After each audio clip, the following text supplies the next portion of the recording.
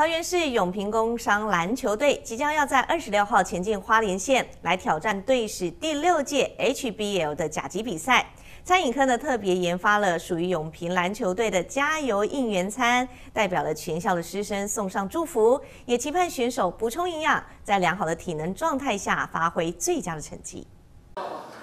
永平餐饮科师傅带领学生制作篮球队应援餐，专门配置符合运动员所需的糖类、脂肪和蛋白质，期许篮球队能补充满满的营养，全力以赴闯进 HBL 十六强。当然，我是设计一些小朋友哦，他的肉那个肉量比较高的，比如说我的肉啊、鸡腿，然后猪排啊，以及我们的炸虾。那为了要让他们比赛更有信心，所以我特别准备这个。哦，肾冻，啊，在日本料理里面，肾冻的代表是他们要考试，或者是要求职、要比赛，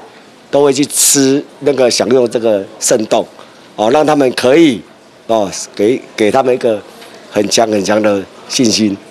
永平工商篮球队去年首度挑战 HBL 甲级比赛，仅差临门一脚就能顺利晋级。今年重振旗鼓，将在十月二十六号前进花莲挑战第六届比赛，球队信心满满。呃，今年大家都调整很好啊，首先目标就是进那个十六强，然后之后再更努力的往更高的那个目标前进。呃，去年我们就是差一场。就挤进十六强了，就门票已经拿了一半了，可惜没有整张拿走。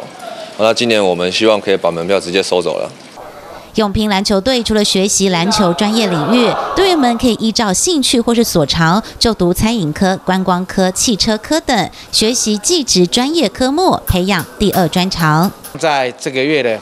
二十六、二十七、二十八三天，到花莲来参加一年一度的 HBL 咯。啊，甲组篮球大赛来挑战自己啊，超越极限。永平工商校长，同时也是高中体育总会会长胡建峰，祝福学生顺利进入 HBL 十六强，替自己争取荣耀。